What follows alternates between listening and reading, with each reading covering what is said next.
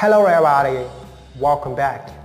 According to spoilers, the bond between Phyllis Summers and Nick Newman is getting closer. There may be a fire burning between them and heating them up. They can move further in the passion department and the doubt is melting as well. They seem to understand each other more than in the past.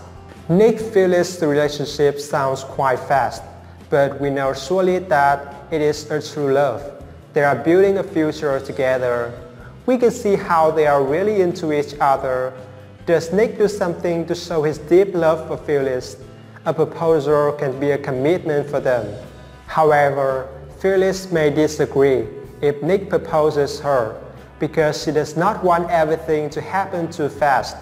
Although she loves Nick so much, she still worries a lot. She is scared of heartbreak one more time we will see more scenes of Phyllis Downs.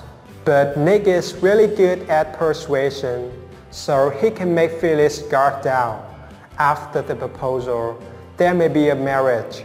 However, things will be more difficult for Phyllis and Nick when Newman family, especially Summer Newman, have some troubles. Summer does not think Phyllis and Nick have a real love, and they should not marry too soon. She says that their feelings are driving them to bad decisions. Some strongly disagree this marriage. Can Nick propose Phyllis? Can their marriage be celebrated? What do you think? Spoilers share that there are more shock drama and great turns in the show. Seem like some hot drama will happen, so stay tuned. I'll update and come back with the latest spoilers. Thanks for watching.